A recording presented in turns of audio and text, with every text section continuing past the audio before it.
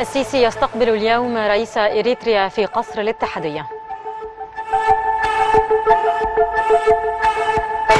الداخلية تعلن مقتل أربعة إرهابيين من منفذي الهجوم على كمين أمني بجنوب العريش. والمجلس العسكري الانتقالي بالسودان يؤكد حرصه على التفاوض للتوصل لتفاهمات مرضية.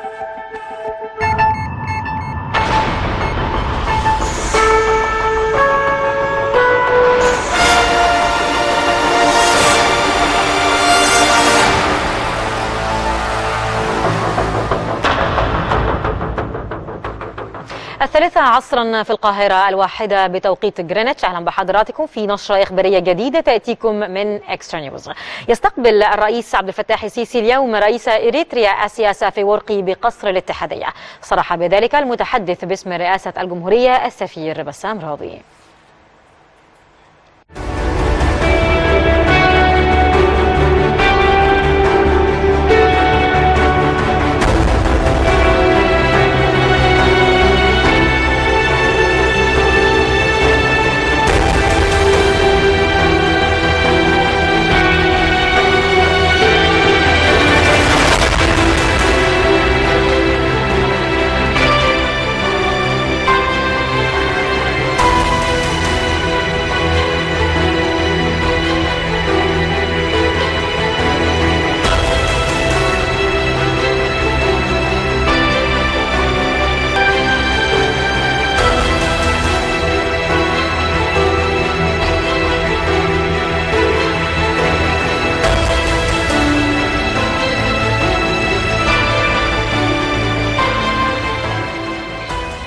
أعلنت وزارة الداخلية مقتل أربعة إرهابيين من العناصر المتورطة في مهاجمة أحد الأكمنة الأمنية جنوب العريش يوم الأربعاء الماضي. وذكرت الوزارة أن عمليات المتابعة رصدت اتخاذ عدد من تلك العناصر أحد العقارات الكائنة بمنطقة أبو عيطة بالعريش كمأوى لهم حيث تمت مداهمة العقار وتبادل إطلاق النار.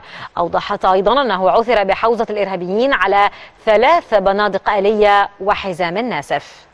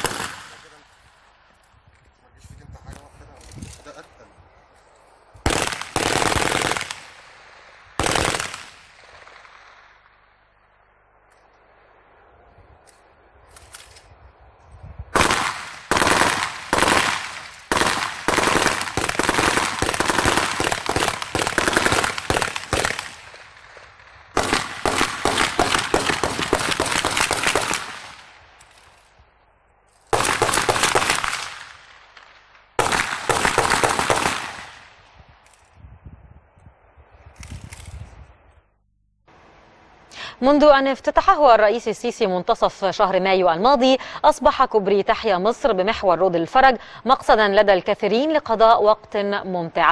أسر مصرية عديدة حرصت على اصطحاب أطفالها إلى هناك لقضاء ليلة من ليالي عيد الفطر والتجول على الممشى الزجاجي. هنا محور روض الفرج والكوبري الملجم على كورنيش النيل بتصميمه الفريد. حيث حرصت أعداد كبيرة من المواطنين على قضاء ليلة من ليالي عيد الفطر المبارك والاستمتاع بمشاهدة نهر النيل الساحر من أعلى كبري تحيا مصر. على فكرة أنا أنا أعتبر من اللي اشتغلت هنا في الكوبري ومن جمال ولسه حاليا شغال في الكوبري برضه.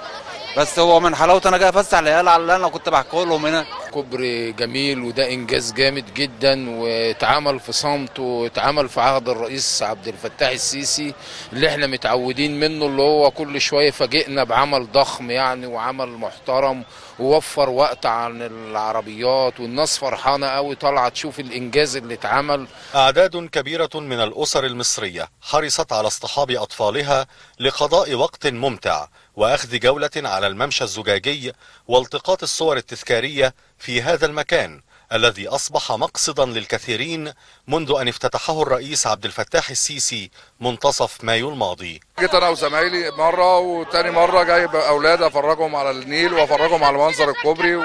والإنجازات بتاعت البلد. نتمشى ونبص على النيل وحاجات جميلة قوي أول مرة يعني نيجي فيها بس مش هتبقى آخر مرة إن شاء الله. يعني هو كله حاجة جميلة فعلا. يعني الناس بتجيله من كل حتة. أنا لسه جاية من شوية رحنا اتمشينا عند الإزاز ورجعنا احفادي عايزين يتفرجوا. حاجة رهيبة يعني حاجة على مستوى العالم يعني. وهكذا أصبح كوبري تحيا مصر بمحور رود الفرج بالإضافة لكونه مشروعا قوميا عملاقا ساهم بشكل كبير في حل مشكلات التكدس المروري ووفر أيضا وقتا طويلا في قطع المسافات من مكان لآخر انضم أيضا لعدد من المتنزهات العامة التي تشهد أجواء احتفالية لقطاع عريض من المواطنين في الأعياد والمناسبات. واصلت منافذ شركة تذكرتي استقبال المشجعين لتسلم تذاكر بطولة كأس الأمم الإفريقية 2019 نتابع المزيد في سياق هذا التقرير.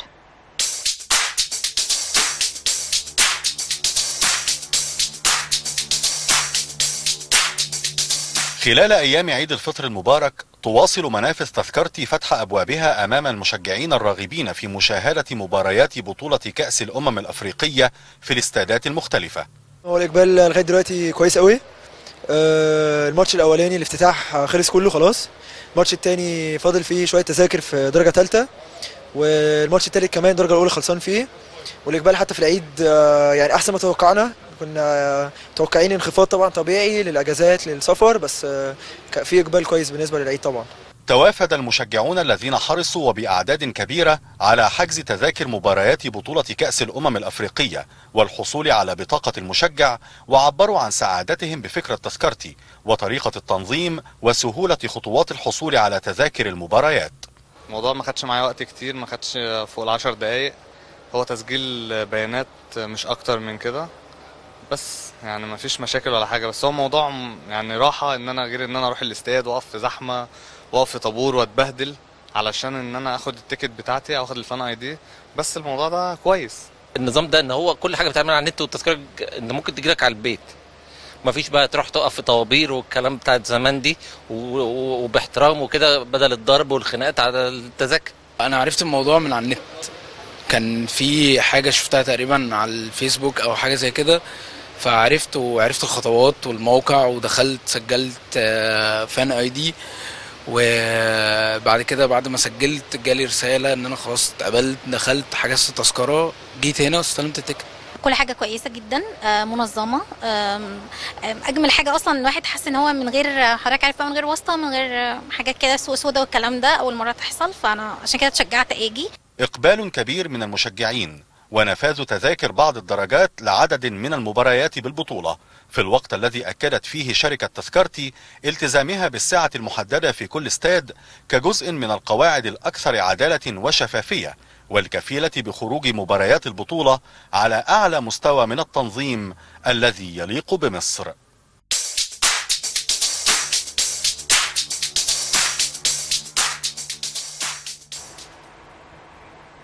تنوه شركة تذكرتي بأنه لا يمكن نقل ملكية تذاكر بطولة الأمم الإفريقية بعد شرائها إلى مشجع آخر بأي حال من. من الأحوال علما بأنه إذا تم التحقق من التذكرة ووجدت مع الشخص غير المعني فسوف يتعرض للمساءلة القانونية وذلك حرصا على التصدي لجميع محاولات السوق السوداء المزيد عن موقع تذكرتي في العرض التالي إطلاق موقع تذكرتي أمام الجماهير لحجز تذاكر بطولة كأس الأمم الإفريقية. موقع تذكرتي يتميز بعرضه بثلاث لغات العربية والإنجليزية والفرنسية. يتميز موقع تذكرتي بسهولة التسجيل للحصول على بطاقة المشجع. يبدأ المشجع بإدخال جنسيته كخطوة أولى سواء من داخل مصر أو خارجها. يدخل المشجع رقم هاتفه المحمول ليستقبل رسالة نصية تحتوي على كود تشغيل التسجيل. يبدأ النظام في طلب البيانات الشخصية للمشجع ثم يقوم بالتحقق من البيانات المسجلة. ينتظر المستخدم لحين وصول رسالة نصية جديدة أو إيميل يتضمن الرقم الخاص ببطاقة المشجع وكلمة المرور. يمكن للمشجع استخدام بطاقته وكلمة المرور واختيار المباريات التي يرغب في حجزها. يتيح الموقع خاصية الدفع باستخدام عدة وسائل تظهر للمشجع. يتسلم المشجع البطاقة والتذكرة من خلال العديد من المنافذ المخصصة. خصص موقع تذكرتي رقما ساخنا هو واحد خمسة ثلاثة خمسة خمسة لمزيد من الاستفسارات.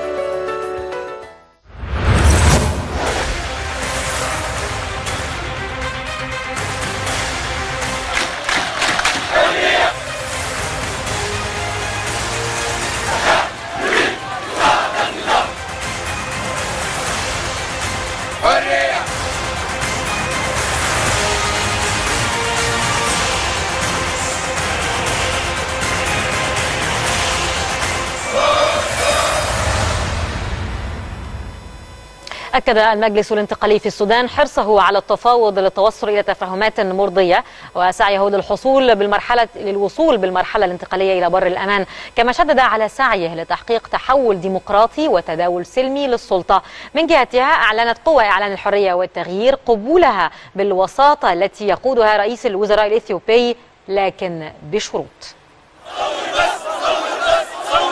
بعد تصعيد خطير شهده السودان على مدار الأيام الماضية وتعثر المفاوضات بين المجلس العسكري الانتقالي وقوى الحرية والتغيير نجحت إثيوبيا في إقناع الطرفين بالعودة إلى مسار التفاوض. زيارة قصيرة بدأها رئيس الوزراء الإثيوبي أبي أحمد إلى العاصمة السودانية الخرطوم. التقى خلالها رئيس المجلس العسكري الانتقالي الفريق أول عبد الفتاح البرهان وقادة قوى الحرية والتغيير في مسعى للوساطة بين الطرفين للخروج بالبلاد من أزمتها الراهنة. اتسمت بالمسؤولية العالية والوعي بخطورة المرحلة. هكذا وصف أبي أحمد اجتماعاته مع الأطراف السودانية داعيا في الوقت ذاته لاتخاذ خطوات سريعة نحو فترة انتقالية ديمقراطية وتوافقية في البلاد. الوساطة الإثيوبية لاقت ترحيبا من الأطراف السودانية فأكد المجلس العسكري الانتقالي انفتاحه للتفاوض مرة أخرى والتوصل لاتفاق في أي وقت. في حين أكدت قوى إعلان الحرية والتغيير قبولها بالوساطة لكن بشروط. الوساطة الإثيوبية جاءت عقب تعليق الاتحاد الإفريقي عضوية السودان حتى نقل السلطة إلى حكومة مدنية منتخبة. وبعد تعثر المفاوضات بين المجلس العسكري الانتقالي وقوى الحرية والتغيير عقب أحداث الاثنين الدامية عربيا دعت الجامعة العربية كافة الأطراف السودانية إلى ضبط النفس وتجنب أي تصرفات من شأنها تأجيج الموقف وتصعيده بينما أكدت الإمارات أهمية استئناف الحوار بين القوى السودانية لتحقيق أمال وتطلعات الشعب السوداني. دوليا دعت الخارجية الروسية كل القوى السودانية إلى حل الخلافات السياسية الداخلية في بلادهم بوسائل سلمية وديمقراطية. بينما طالبت الخارجية الفرنسية بتشكيل حكومة ومحاسبة مرتكبي أعمال العنف بالبلاد. لم تكن الأمم المتحدة كذلك بمعزل عن تطورات الأحداث بالسودان فقد قررت نقل بعض موظفيها في السودان إلى الخارج مؤقتا بسبب الوضع الأمني في البلاد. نفى وزير الدولة للشؤون الخارجية الإماراتي أنور قرقاش أنباء تحدثت عن وجوده في العاصمة السودانية الخرطوم مؤكدا أنه يشارك حاليا في منتدى براتيسلافا في سلوفاكيا. ووصف قرقاش على تويتر تلك الأنباء بأنها شائعات من صنع منصات الإعلام القطري.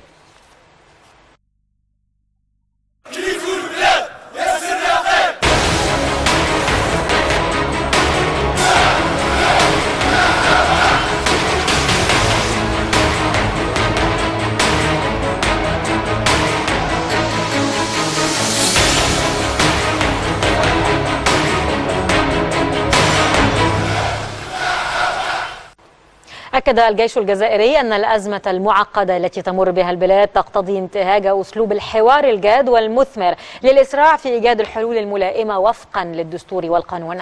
وفي افتتاحية عدد مجلة الجيش لهذا الشهر دعا الجيش الجزائري إلى تشكيل هيئة مستقلة للانتخابات بوصفها الأداة القانونية التي تضمن إجراء انتخابات رئاسية حرة ونزيهة وذات مصداقية.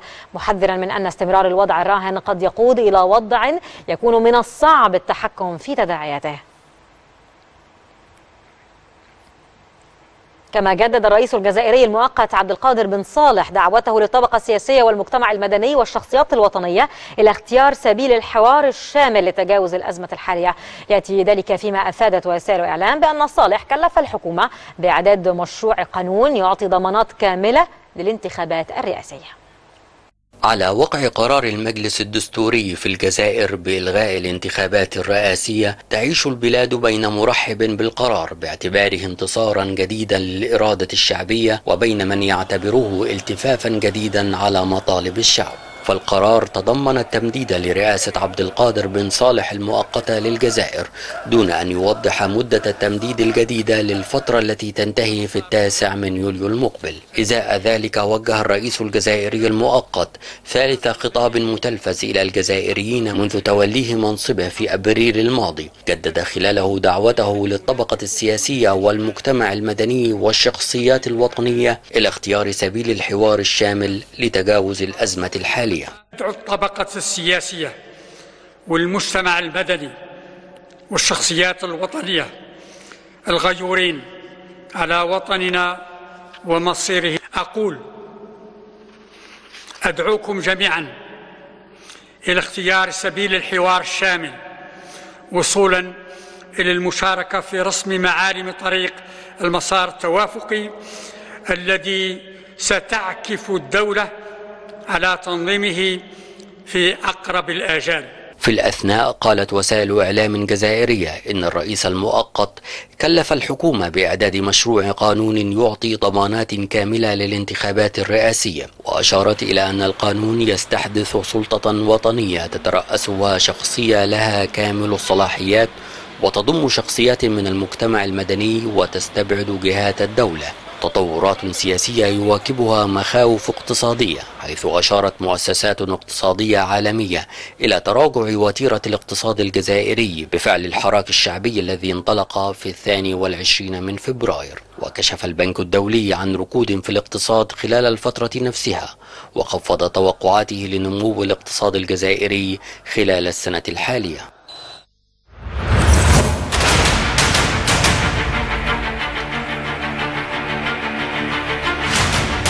لبيك يا طرابلس لبيك.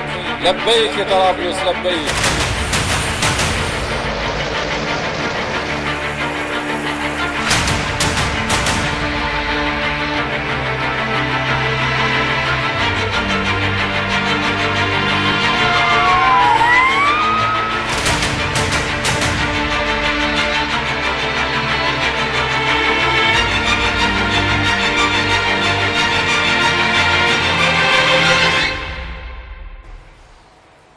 ذكر مصدر عسكري أن الجيش الوطني الليبي بدأ عملية الزحف على محور طريق المطار في العاصمة طرابلس. وأوضح المصدر أن قوات الجيش دمرت ثلاث آليات للميليشيات الإرهابية وأجبرتها على التراجع مشيرا إلى أن اشتباكات عنيفة ما زالت تدور في المنطقة وسط تقدم ملحوظ للجيش الليبي.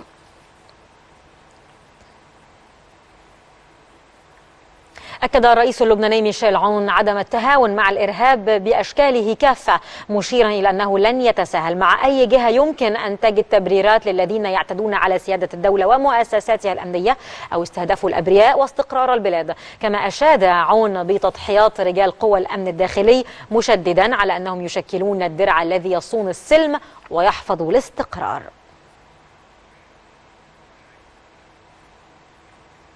تراجعت ودائع القطاع العام القطري بالنقد الأجنبي 32% بما قيمته 14 مليار دولار وفق بيانات رسمية. وزادت حاجة حكومة قطر للسيولة بالنقد الأجنبي بعد مقاطعة عربية للدوحة ما دفعها للتوجه إلى الاقتراض مباشرة أو السحب من ودائعها بخلاف تسييل استثمارات خارجية للإنفاق المحلي.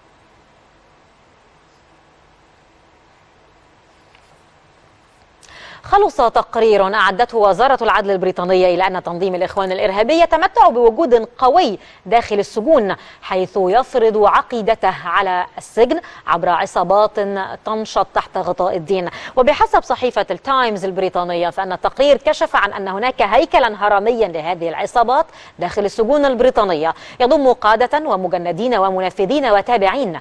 ولفت التقرير إلى أن ضغوطا كبيرة تمارس على السجناء للانضمام إلى التنظيم.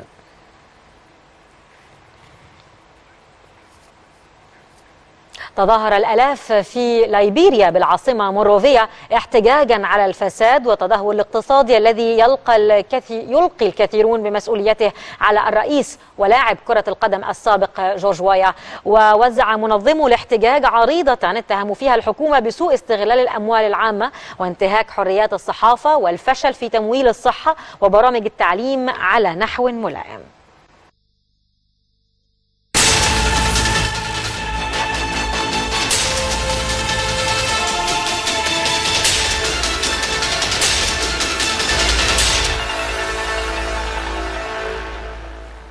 قال المتحدث باسم الحكومة اليمنية راجح بادي أن بلاده حريصة على تطبيق اتفاق ستوكهولم بشأن مدينة الحديدة مشددا على أن التجزئة في تنفيذ القرارات لا يخلق سلاما دائما وإنما يؤسس لجولات صراع قادمة وإطالة فترة النزاع والحرب في البلاد. جدد بادي موقف حكومته الواضح بأن من يريد تحقيق سلام دائم وشامل في اليمن فعليه أن ينفذ قرارات مجلس الأمن كاملة. أحبطت القوات الأمنية المشتركة والحزام الأمني هجوما نفذته ميليشيات الحوثي على مواقعها في جبهتي مريس وباجا شمال وغربي محافظة الضالع جنوبي البلاد. وبحسب مصادر ميدانية فقد تجبدت الميليشيات الحوثية خسائر فادحة في الأرواح والعتاد أثناء هذه الاشتباكات. أعلن الجيش اليمني أن قواته حررت مناطق وقرى جديدة في مديرية حرس حرض الحدودية بمحافظة حجة شمالي البلاد وذلك خلال عمليات عسكرية توغلت خلالها القوات لنحو سبعة كيلومترات في المنطقة. في غضون ذلك شنت مقاتلات التحالف العربي سلسلة غارات على أهداف متفرقة للميليشيات في أكثر من جبهة في البلاد.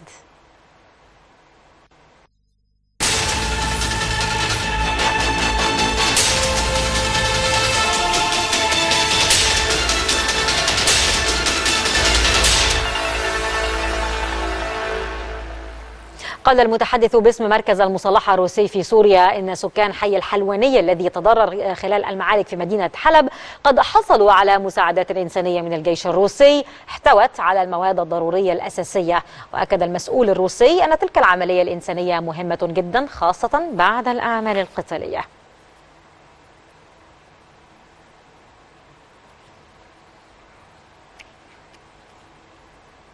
أعلنت السلطات السورية مقتل شخص وإصابة ثلاثة آخرين جراء هجوم صاروخي شنته مجموعات مسلحة على بلدة شيزر بريف حماة الشمالي الغربي في خرق جديد لاتفاق منطقة خفض التصعيد في إدلب.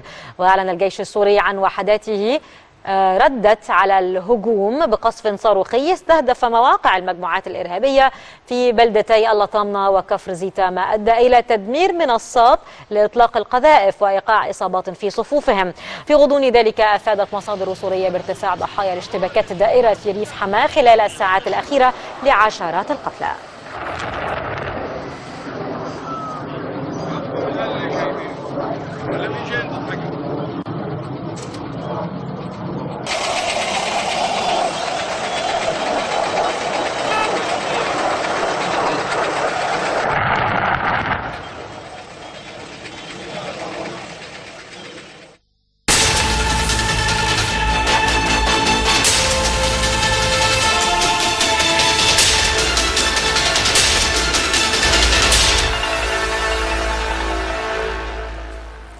انفجرت عبوة ناسفة في قضاء الحويجة بكركوك ما أدى إلى مقتل آه، مدني و إلى مقتل مدني. في غضون ذلك أعلن مسؤول أمني عراقي عن تفجير آه، 36 عبوة ناسفة من مخلفات تنظيم داعش الإرهابي غرب الرمادي. يذكر أن القوات الأمنية المشتركة في محافظة الأنبار آه، تنفذ بين الحين والآخر عمليات أمنية تسفر عن اعتقال عناصر بتنظيم داعش وتدمير مواقع إرهابية.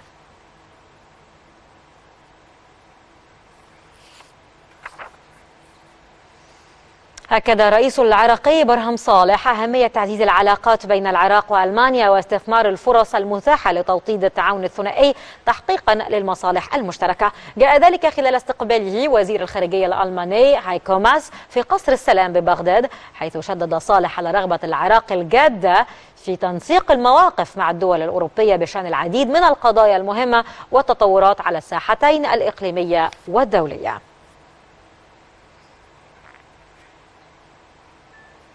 زعمت تركيا قضاءها على 43 مسلحا منذ بدء عملياتها العسكرية ضد عناصر حزب العمال الكردستاني في شمال العراق. كما زعمت وزارة الدفاع في أنقرة أنه تم إبطال مفعول 53 عبوة ناسفة ولغما وتدمير 74 مخبأ ومغارة خلال هذه العمليات التي تعتبر انتهاكا متكررا لسيادة الأراضي العراقية.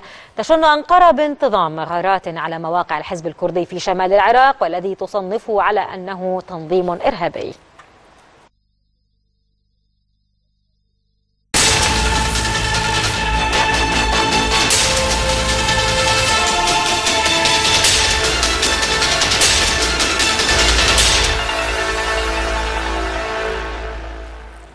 كشفت وثائق عسكرية مسربة أن الرئيس التركي رجب طيب أردوغان بدأ بتنفيذ عملية كبرى بالجيش تم بموجبها إقالة العديد من الضباط الكبار بالقوات التي تحتفظ بها بلاده في قبرص وذلك بموجب أدلة واهية. زمن ذلك تلك الوقائع مع أطماع تركيا في البحر المتوسط وسعيها للتنقيب عن الغاز دون احترام لقبرص وحدودها البحرية.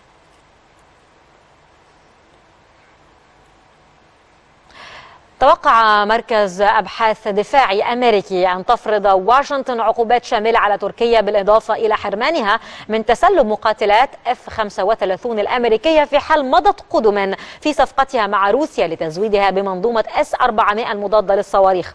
أمهلت الولايات المتحدة الأمريكية تركيا حتى نهاية يوليو المقبل للتراجع عن إتمام الصفقة. نتابع المزيد في هذا التقرير.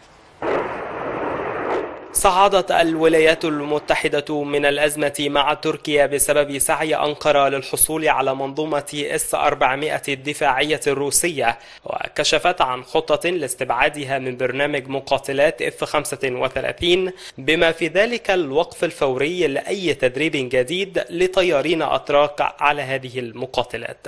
فالولايات المتحدة أعطت لتركيا مهلة حتى نهاية شهر يوليو للعدول عن شراء الصواريخ الروسية من نوع إس 400 وقالت إيلين لورد مساعدة وزير الدفاع الأمريكي إنه في حال لم تتخلى أنقرة عن قرارها فإن الطيارين الأتراك الذين يتدربون حاليا في الولايات المتحدة الأمريكية على طائرات F-35 سيطردون.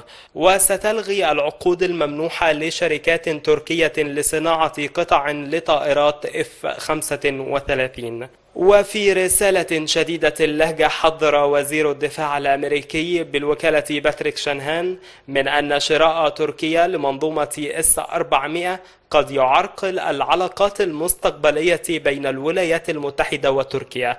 مؤكدا أن قراره بإنهاء مشاركة تركيا في برنامج F-35 يمكن أن يتبعه تصرفات أمريكية أخرى موضحا أن أعضاء الكونغرس يؤيدون فرض عقوبات على الأتراك.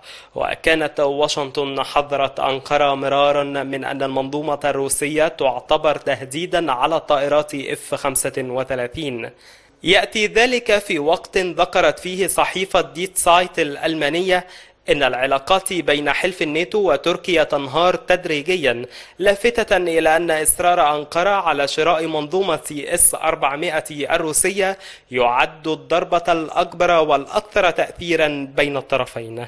ووفق الصحيفة يتخوف دول الناتو من أن نشر منظومة إس 400 في تركيا وأنظمة الرادار المرافقة لها. سيمنح روسيا رؤية عامة عن منظومة الحلف الدفاعية وبيانات عن مقاتلات F-35 الأمريكية. أعلن نائب رئيس الحكومة الروسية يوري بوريسوف أن بلاده لا تخشى أن يتأثر الراغبون في شراء منظومة صواريخ إس 400 للدفاع الجوي بالضغوط الأمريكية. وقال بوريسوف على هامش منتدى بطرسبورغ الاقتصادي الدولي أن موسكو لا تواجه نقصا في الطلبات على شراء هذه المنظومة.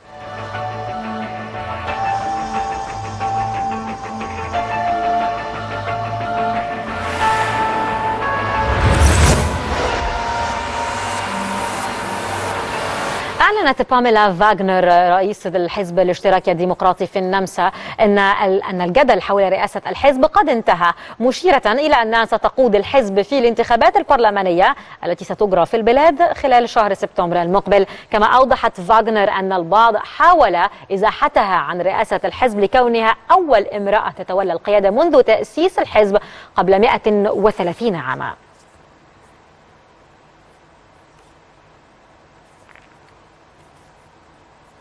تتواصل فعاليات منتدى سان بطرسبرغ الاقتصادي الدولي وسط حضور دولي كبير وسعي لإيجاد حلول للمشكلات الاقتصادية وبيئة استثمارية آمنة بعيدة عن السياسة. المزيد في هذا العرض.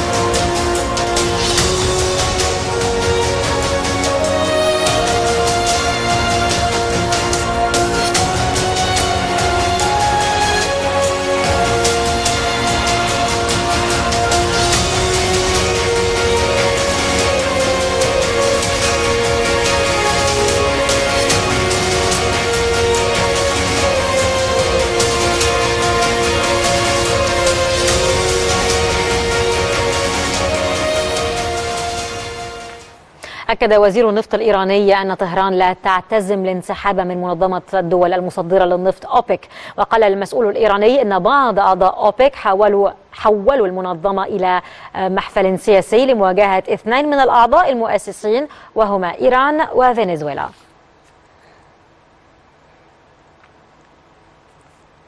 قالت إيران أن العقوبات الأمريكية الجديدة بحقها تجعل الحديث عن استئناف المحادثات فارغا.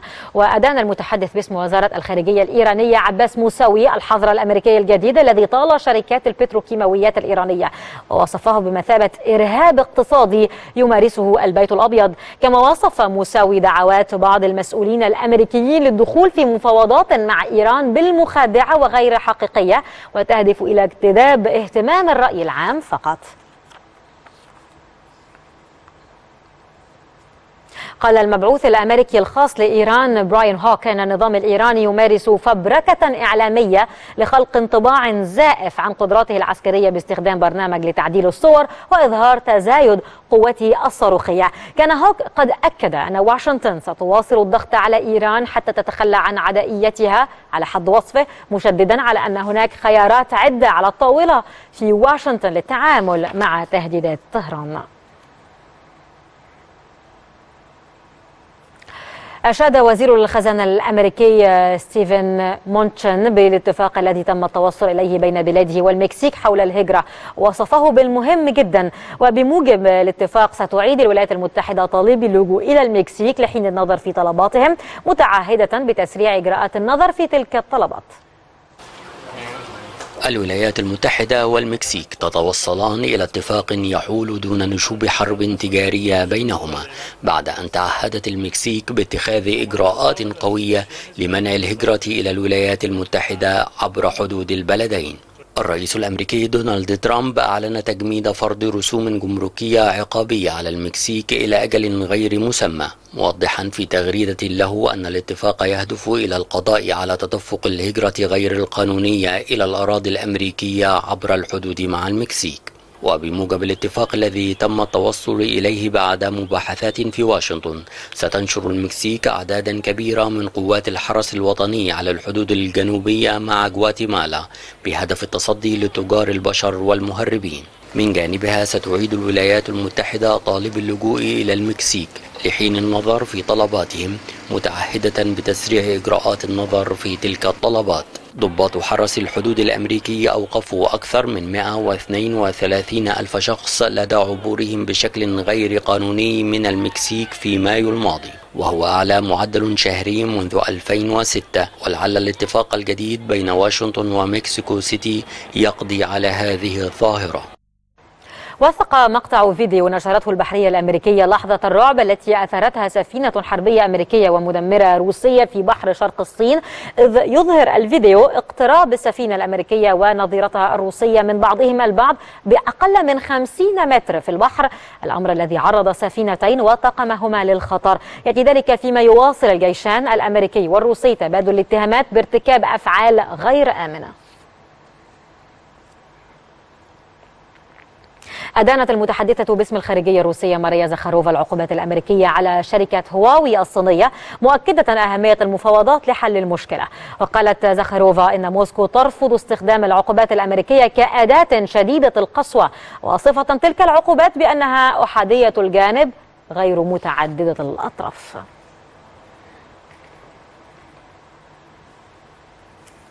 أعلنت روسيا أن سفنا تابعة لها وقوات من أسطول البلطيق ستراقب المناورات البحرية لحلف الناتو. يذكر أن مناورات الحلف ستجرى في بحر البلطيق في الفترة من التاسع حتى الحادي والعشرين من شهر يونيو تحت إدارة قيادة الأسطول التشغيلي الثاني للبحرية الأمريكية. يشارك في مناورات الناتو ما يصل إلى 40 سفينة وغواصة بالإضافة إلى 40 طائرة مختلفة من 18 دولة.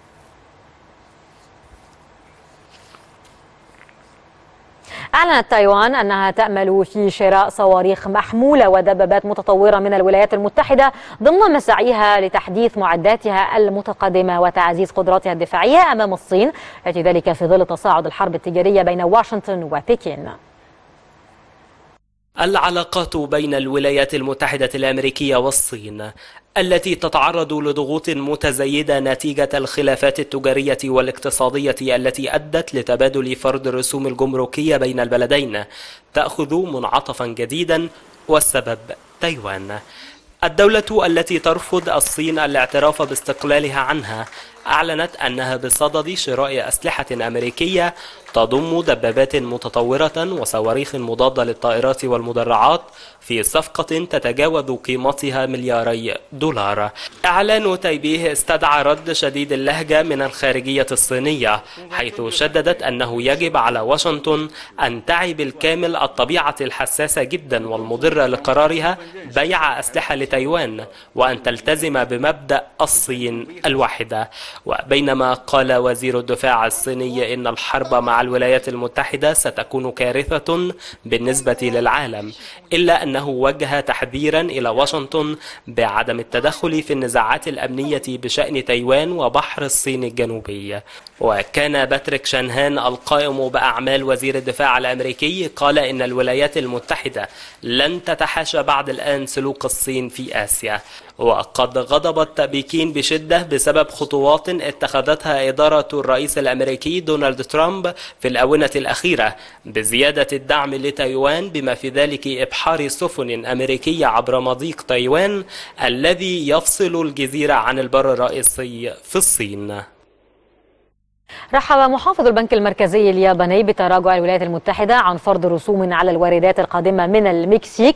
تصريحات المسؤول الياباني جاءت على هامش اجتماع وزراء مالية دول مجموعة العشرين في مدينة فوكوكا اليابانية. يبحث الاجتماع بشكل أساسي إصلاح السياسات الضريبية ومكافحة غسيل الأموال والجرائم الإلكترونية.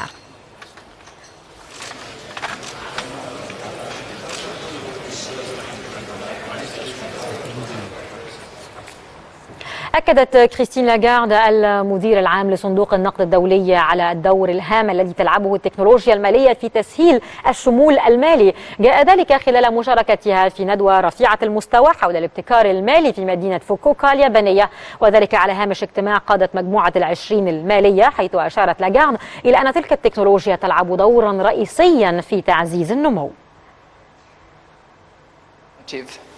for financial inclusion. Those countries recognize that inclusion plays a key role in promoting growth, opening access for poor and rural communities.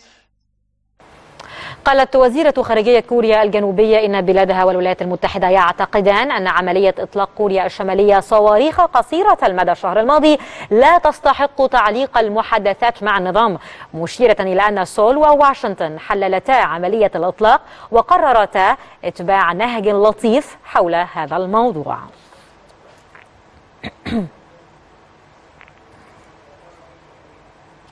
أشادت وزيرة خارجية كوريا الجنوبية كانغ كيونغ بالمساعدة التي قدمتها صربيا في البحث عن مفقودين جراء تصادم زورقين سياحيين في نهر وسط بودابست. وأعربت الوزيرة الكورية الجنوبية عقب اجتماع مع نظيرها الصربي في بلغراد عن أملها في استمرار التعاون بين البلدين. وقدمت السلطات الصربية المساعدة لفرق البحث المجرية والكورية الجنوبية حيث وصلت عملية الإنقاذ إلى حوالي 200 كيلومتر جنوب بودابست باتجاه الحدود مع صربيا.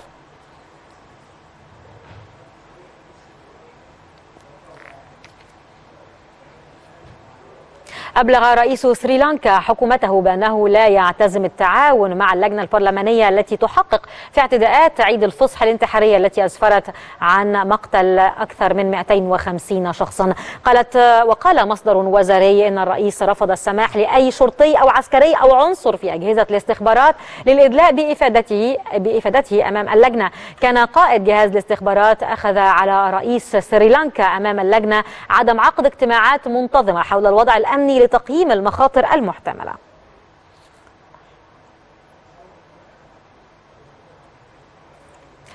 هاجمت الحكومة الفلبينية خبراء حقوق الإنسان في الأمم المتحدة لما وصفته بأنها تدخلات لا تغتفر في شؤونها وذلك بعد أن دعوا إلى تحقيق دولي في أعمال قتل تمت ضمن الحرب التي يشنها الرئيس رودريغو دوتيرتي على المخدرات. ودعا الخبراء أمس مجلس حقوق الإنسان التابع للأمم المتحدة إلى فتح تحقيق مستقل حول ما وصفوه بتدهور حاد في حقوق الإنسان في الفلبين مؤكدين أنهم وثقوا عددا من الوفيات غير القانونية وأعمال قتل نفذتها الشرطة في نطاق حربها على المخدرات وكذلك أعمال قتل للمدافعين عن حقوق الإنسان.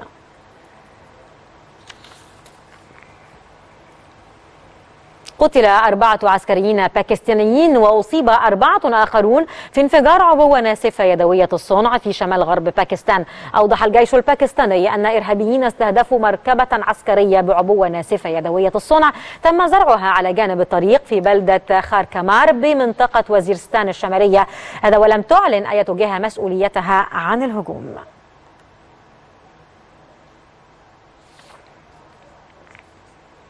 أعلنت وزارة الداخلية الأفغانية مقتل 18 من مسلحي حركة طالبان وإصابة أربعة آخرين خلال عملية نفذتها في منطقة محمد أغا بمقاطعة لوغار الوسطى.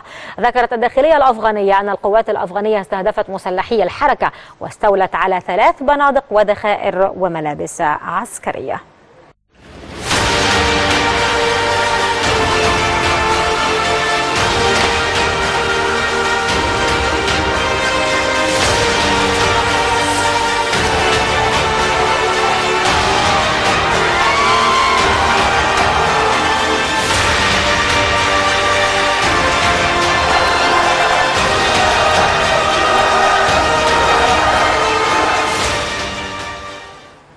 اعترفت الولايات المتحدة بقرار زعيم المعارضة الفنزويلية خوان غوايدو تمديد العمل بجوازات سفر مواطني فنزويلا المنتهية صلاحيتها. تأتي هذه الخطوة بعد أن طلب العديد من المواطنين المقيمين في الولايات المتحدة تجديد جوازات سفرهم بعد أن أغلقت كاراكاس بعثاتها الدبلوماسية في الولايات المتحدة بسبب اعتراف واشنطن بزعيم المعارضة الفنزويلية رئيسا مؤقتا للبلاد. بهذا الاعتراف تنضم الولايات المتحدة إلى 11 دولة في أمريكا اللاتينية تقر بصلاحيات جوازات السفر الفنزويلية المنتهية. وجه رئيس الفنزويلي نيكولاس مادورو بإعادة فتح الحدود مع كولومبيا في ولاية تشيرا غربي البلاد وذلك بعد إغلاق استمر عدة أشهر. كانت السلطات الفنزويلية قد أغلقت الحدود مع كولومبيا تحسبا لمحاولة المعارضة إدخال أطنان من المساعدات قدمتها الولايات المتحدة ودول أخرى أيدت المعارضة بقيادة خوان غوايدو من جديد فتحت السلطات الفنزويلية حدودها مع كولومبيا المجاورة وذلك بعد نحو أربعة أشهر من إغلاقها. الرئيس الفنزويلي نيكولاس مادورو أكد أن تلك الخطوة تأتي في إطار الممارسة التامة لسيادة الدولة موضحا أن شعب فنزويلا شعب مسالم ويدافع بقوة عن استقلاله وتقرير مصيره. وفي فبراير الماضي قطعت فنزويلا علاقاتها مع كولومبيا وأغلقت الحدود وذلك على خلفية قوافل مساعدات إنسانية أمريكية كانت متجهة من بوغوتا إلى كاراكاس ورفضتها حكومة مادورو باعتبارها ستارا لأغراض سياسية. إذ نظم زعيم المعارضة الفنزويلي خوان جوايدو عملية إنسانية من أجل إدخال أطنان من المساعدات الغذائية والطبية إلى فنزويلا قدمتها الولايات المتحدة وحلفاؤها والتي اعتبرها مادورو تدخلا في شؤون بلاده. وبحسب الأمم المتحدة غادر أكثر من ثلاثة ملايين فنزويلي بلدهم هربا من الأزمة الاقتصادية الأسوأ بتاريخ هذا البلد الغني بالنفط. واستقبلت كولومبيا مليونا وثلاثمائة ألف مهاجر فنزويلي وطلبت مساعدة دولية لمواجهة هذا التدفق البشري. في تلك الأثناء شددت وزارة الخزانة الأمريكية ضغطها على شركة النفط الفنزويلية المملوكة للدولة. عبر توضيح أن تصدير شركات الشحن العالمية لمخففات اللزوجة ربما يخضع لعقوبات أمريكية. والتعديل الذي أعلنته وزارة الخزانة الأمريكية على موقعها الإلكتروني هو أحدث إجراء أمريكي يهدف إلى الضغط على الرئيس الفنزويلي نيكولاس مادورو عبر تقييد الوصول إلى إيرادات الصادرات النفطية من الشركة المملوكة له. وتشهد فنزويلا خضم أزمة سياسية حادة منذ أن أعلن زعيم المعارضة خوان جوايدو نفسه رئيسا مؤقتا للبلاد إذ تسبب تدهور الأوضاع الاقتصادية في البلاد في نقص واسع النطاق في الأغذية والأدوية الأساسية بينما تسببت الصراعات السياسية في موجة من أعمال العنف الدموية. مزار مفتوح لمحبي التصوير الفوتوغرافي وللراغبين في قضاء يوم طيب في قلب القاهرة. شارع المعز الذي يقصده المصريون من كل مكان للاستمتاع بمعالمه والتقاط الصور التي تبرز جمال العمارة الإسلامية في الأبنية والأسبلة والمساجد التاريخية. يفتح أبوابه ليستقبل زائريه في عيد الفطر المبارك. نتابع المزيد عن هذا الشارع في التقرير.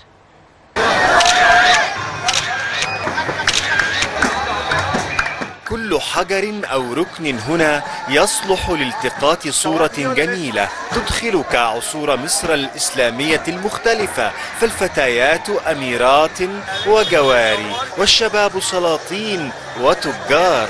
وتغيير جو فاهمني؟ و لازم الواحد يخرج طبعا. تصوير session رحت واتصورت ولبست لبس هندي وصعيدي ودلوقتي هروح وارسم. هنا هندي العيد ده في مصر أحلى عيد وأجمل عيد وربنا يجعل أيامنا كلها أعياد وخير وسلام ويجعلنا كده نحب بعضنا دايما. ده اللي ما ينزلش شارع المعز ما شافش مصر. غزل البنات سكر نبات والحلويات وكل أنواع المشروبات والمأكولات وركن الحنة للصبايا. والجميلات. هو جميل. جميل. هو حلو. عملت إيه؟ انت عملت إيه من ساعة ما دخلت؟ بتفرج على حاجات من حاجات حلوة ولبست ساري ولبست ولبست اسكندري اسكندراني. إحنا جايين معز بنفرح بالأماكن بالدنيا كلها وبنتصور ويعني فرحة لينا والكل وحتى تلاقي كله والسياحه وأمن جميل جدا كل حاجة حلوة الحمد لله. كنت أول مرة نخرج أنا وزمايلي وقالوا نروح شارع المعز. طب ليه شارع المعز قالوا عشان خاطر فيه آه، جوامع وفيه أحداث تاريخية كتير نتصور تحت منها. وعمارات على الشكل الإسلامي والطراز الإسلامي الجميل فحبينا نيجي نتصور صخب بطعم البهجة وكأن العيد بات هنا وأصبح وأصبحت معه الفسحة. في شارع المعز لها مذاق خاص. بعد أن أضيف هذا المعلم الأثري الجميل إلى قائمة خروجات العيد. أحمد عبد الرازق لأكسترا نيوز.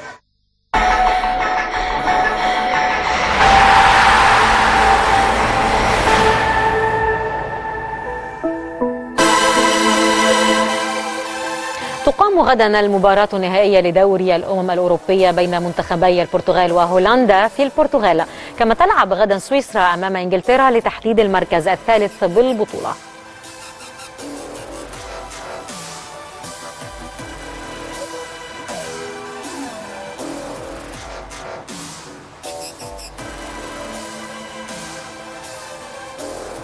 أقر الاتحاد الدولي لكرة القدم تعديلات جديدة في قوانين كرة القدم ليتم تطبيقها على مستوى العالم.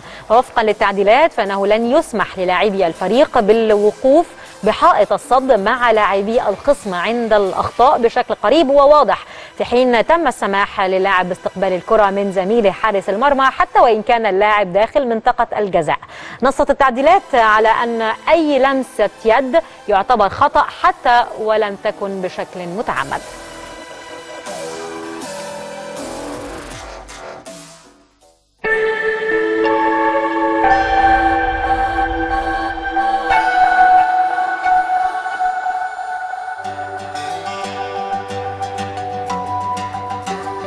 يسود البلاد غدا الأحد طقس لطيف على السواحل الشمالية مائل الحرارة على الوجه البحري والقاهرة حتى شمال الصعيد لكنه حار على الجنوب نهارا لطيف بالليل. فيما يلي نتابع بيان بدرجات الحرارة المتوقعة غدا.